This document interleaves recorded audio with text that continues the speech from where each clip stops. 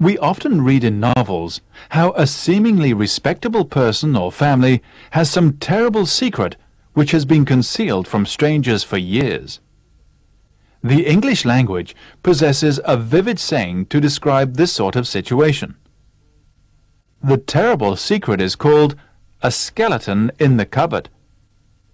At some dramatic moment in the story, the terrible secret becomes known, and a reputation is ruined.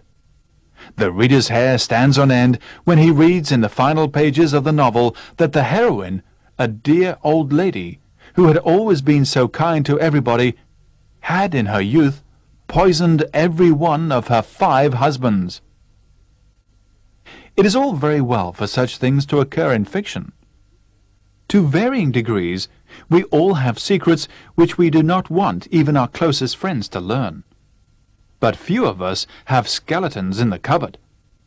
The only person I know who has a skeleton in the cupboard is George Carlton, and he is very proud of the fact.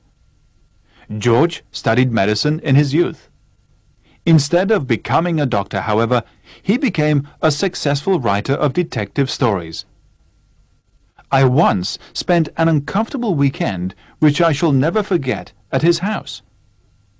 George showed me to the guest room, which, he said, was rarely used. He told me to unpack my things and then come down to dinner. After I had stacked my shirts and underclothes in two empty drawers, I decided to hang one of the two suits I had brought with me in the cupboard. I opened the cupboard door and then stood in front of it petrified.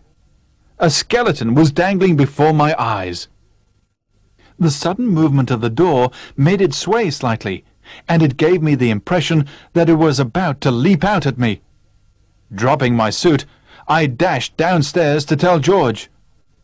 This was worse than a terrible secret. This was a real skeleton. But George was unsympathetic. Oh, that, he said, with a smile, as if he were talking about an old friend.